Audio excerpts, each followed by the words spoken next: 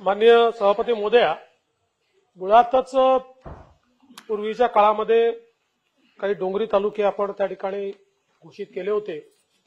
नंतर सातत्याने मागणी यायची की आमचाही तालुका डोंगरी आहे पण त्याचा समावेश नाही आहे.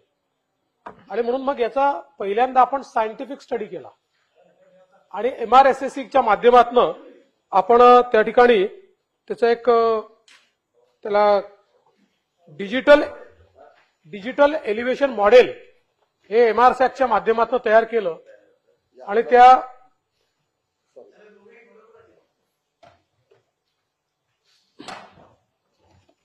त्या माध्यमातून असं आपल्या लक्षात आलं की आतापर्यंत आपण ज्याला डोंगरी म्हणत होतो अशा काही तालुक्यांमधला काही भाग हा डोंगरी नाहीये. आणि काही नवीन भाग असा आहे की जो ऍक्च्युली डोंगरी आहे पण तो डोंगरी तालुक्यांमध्ये समाविष्ट नाहीये. आणि म्हणून आपल्याला काही कोणाला वगळायचं वगैरे नाहीये पण मग नव्याने जो भाग खरोखर डोंगरी आहे तो त्याच्यामध्ये समाविष्ट झाला पाहिजे.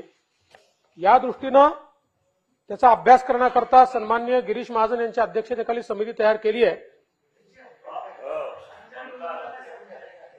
रवींद्र डोंगर पोखरायचा नाही डोंगरी तालुके घोषित करायचे.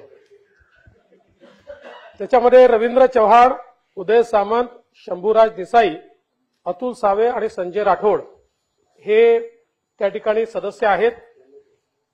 आणि या समितीची लवकरात लवकर बैठक घेऊन हा जो एम आर सॅकचा रिपोर्ट आलेला आहे त्या अनुषंगानं निर्णय घेण्याच्या करता सूचना देण्यात येतील.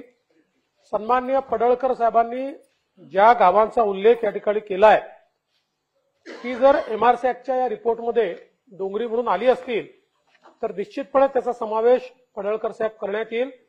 आणि याकरता आता मंत्री गिरीश महाजन उपस्थित असल्यामुळे ते अध्यक्ष असल्यामुळे एक महिन्यात आपण बैठक घ्या. म्हणजे माझ्यावर येणार नाही आश्वासन त्यांच्याचकडनं घेऊन घेतलंय मी. एक महिन्यात बैठक घेऊन या संदर्भातला निर्णय कमिटी करेल. धोरण हे राज्याकरताच असेल सर्वेक्षण हे राज्याचंच केलं आहे आणि आतापर्यंत जसं दोन हजार दहा साली आपण समजा काही तालुके घोषित केले त्याला कुठला सायंटिफिक बेसिस नाहीये. आणि मग काय होतं की लोकांमध्ये ओरड होतं की आमच्या डोंगरी असून बाहेर आहे आणि ते डोंगरी नाहीत म्हणून नसताना देखील आहेत. म्हणूनच आज सॅटेलाइटच्या मॅपिंग मधनं आणि एम आर सॅक मधनं एक्झॅक्ट एलिव्हेशन मिळतं. आणि नुसतं एलिव्हेशन एवढा पुरतं आहे जर तो आपल्याला त्या ठिकाणी तालुका घोषित करायचा असेल तर त्यात अन्यही निकष आहे. की ज्याच्यामध्ये त्या क्षेत्राचा सरासरी उतार तीस टक्के किंवा त्यापेक्षा जास्त आणि त्या भागाची सापेक्ष उंची तीनशे मीटरहून अधिक असणं हे आवश्यक आहे.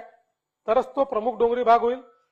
त्याखेरीज प्रमुख डोंगरी भागाच्या भौगोलिक विस्ताराचा उतार हा सतरा ते तीस टक्के असल्यास असे क्षेत्र अंशतः डोंगरी भाग होईल.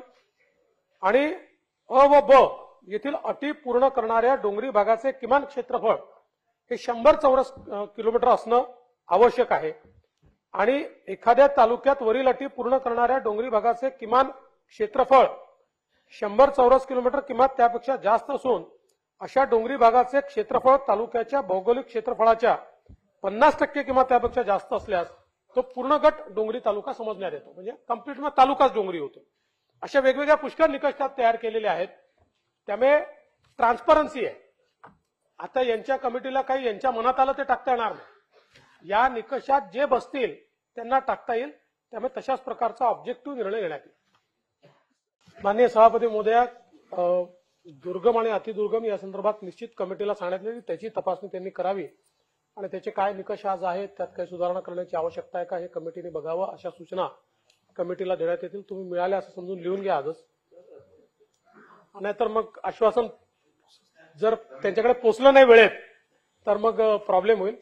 आणि साधारणपणे काय आहे की आपण कुठल्याही म्हणजे दोन्ही सभागृहातल्या सदस्यांना त्यांचा निधी कुठेही खर्च करण्याकरता परवानगी देतो त्यामुळे त्याला काही अडचण नाही तसं देता येईल.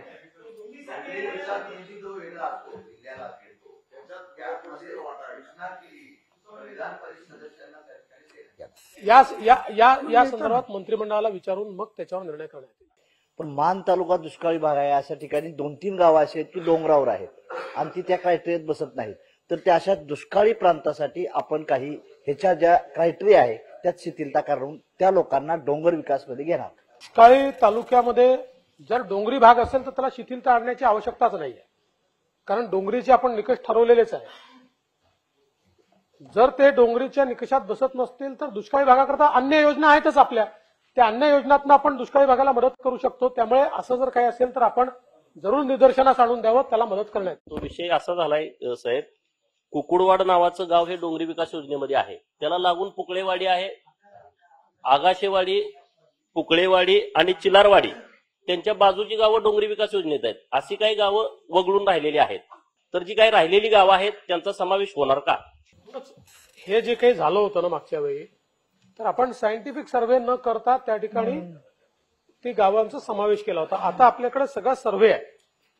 त्याच्यामुळे निश्चितपणे आता तीच रांग जर येत असेल तर सर्व्हेमध्ये तेच येणार आहे. आणि म्हणून मला असं वाटतं की जरूर या संदर्भात विचार कमिटी करेल आणि मी समितीला ही विनंती करेन की माननीय महादेवराव जानकरजी आणि गोपीचंद पडळकरजी यांना देखील आपण बोलून घ्यावं आणि त्यांच्याशी चर्चा करून या संदर्भात निर्णय करावा.